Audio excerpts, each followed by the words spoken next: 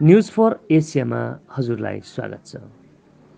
भारतको दार्जिलिङ जिल्ला अन्तर्गत मङ्पु सिन्कोना बगानको मनोरम दृश्यले स्थान लिएकी बालिका प्रार्थना गुरुङले हाल नेपालमा चलिरहेको भोइस अफ किड्समा टिम मिलानमा रहेर आफ्नो गायन कलाले तहल्का मचाइरहेकी छिन्।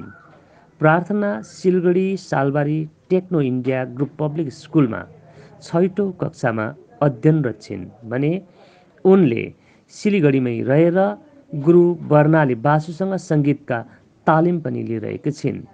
सम्पूर्ण टिममा भोइस अफ किड्समा अघि बढ्न चाहने सबै नानीहरूप्रति प्रोत्साहन साथ अनि सहयोग प्रदान गर्नु सचेत समाजको जिम्मेवारी पनि हो। यसैले भोइस अफ किड्समा सहभागी सबै सबै कलाकार साथै दार्जिलिङका ससाना बाल कलाकारहरूलाई हार्दिक बधाई शुभकामना सहित प्रार्थना गुरुङलाई धेरैभन्दा धेरै भोट दिएर विजयी बनाइदिने गुरुङ परिवार अनि बाँसुरी वादक हेमन्त थापाको पक्षबाट हार्दिक अनुरोध गर्दै न्युज फर एसियाको पक्षबाट सबै सबै सहभागी नानीहरूमा शुभकामना व्यक्त गर्दछौँ।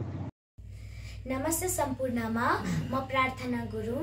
र यहाँ भोइस किड सिजन टूमा चाहिँ तपाईँहरूको माया र सहयोगले गर्दा म सेमी फाइनलमा पुग्न सफल भएकी छु।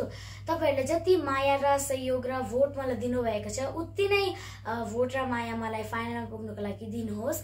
र जति पनि मानिसहरूले मलाई भोट गर्नुभएको छ उहाँहरूलाई धेरैभन्दा धेरै धन्यवाद भन्न चाहन्छु।